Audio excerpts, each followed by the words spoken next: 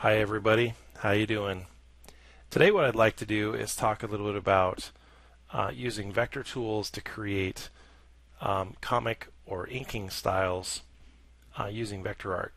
And what I have here is an example of a drawing done by Jeff Smith. He's most well known for creating Bone, the fantasy series, um, with this character over here on the side. And uh, this drawing here in particular, it's got Bone and Usagi Yojimbo. I think it was a tribute drawing for Stan Sakai. Some of you may know who that is. If you look at this drawing, it's actually an original ink drawing. And it was done in blue pencil first. And then Jeff Smith came over the picture and redrew it using inking tools. And it looks to me like he used an ink brush and maybe some other micron pens uh, to create the inking style. Uh, what I love about this style is just the variable line quality, how it goes from solid blacks to thick and thin lines indicating different folds and shapes uh, on the characters. There's a lot of variety and it creates a much more interesting and dynamic character when you use that, um, that stylization. Now, most Illustrator lines by default are boring, and so we need to make some adjustments to our tools to get more interesting and organic lines. And that's what we're going to focus on here. So as you may know, if I draw with the pen tool, by default I get that square symmetrical line. And the best way to adjust it and to change that stroke is to use the stroke line profiles. You can find those here uh, at the bottom of the palette. So you would select the profile and switch to one of the variable shapes to give that stroke a mo more interesting quality. And so then your job would be to use your pen tool to redraw that character and then stylize the lines as needed to create that inking quality, adjusting the size and style as you go.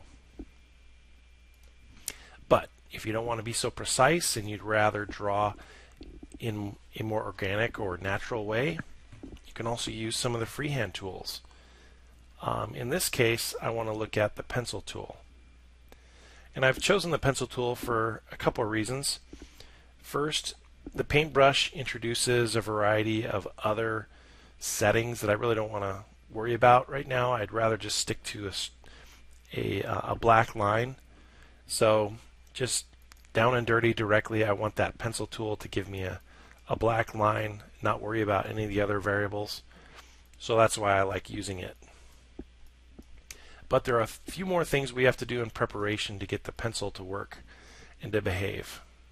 As you can see, when I draw with a pencil, by default, it's making all the lines the same size. Um, even if I change it, which you can do, selecting a profile and adjusting that drawn line, as soon as I go back to drawing with a pencil, it resorts to that um, that simple basic line. That is really annoying, and it's one of those settings in Illustrator that can be really frustrating. I don't know why this is the default, but there is a workaround. So to work around this and to get the pencil tool to behave, what we need to do is go to the window menu and we need to open the appearance palette. The appearance palette stores a lot of things, different attributes and settings that have been applied to lines and objects. But for us, with that appearance palette open, what I'm going to do here is I'm going to select the drop down menu on the side and what I'm looking for is this new art has basic appearance setting. That is the setting that's causing all the trouble. See how it has a little check mark? That means no matter what you do, your tool is going to return to the default setting. So I need to uncheck it. So I go back and look, it's unchecked. That means that if I stylize a line and get it to be what I want, the next line I draw is going to adopt that new style way better.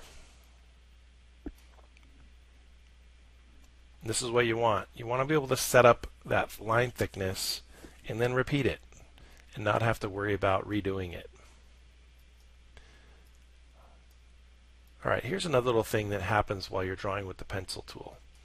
Sometimes as you draw, if you draw too close to the original, it'll actually um, keep it connected and keep it selected. So if you want to adjust other things with the pencil, you need to go over to the toolbar and double click the pencil. That pulls up a new dialog box. So here we have some settings. First setting is the top one and this is going to change and auto smooth our lines. So let's say if we're drawing and it's kind of jittery, if we auto smooth it, that line's going to improve. Um, Illustrator is going to correct what we draw. The other pesky setting I was talking about is this one here, keep selected. If you uncheck that, that's going to make it much easier. So when you draw, Illustrator lets go of the lines and it's just like painting with a brush You can get those lines exactly where you want them. Now, if you decide, hey, I need to adjust something, don't worry.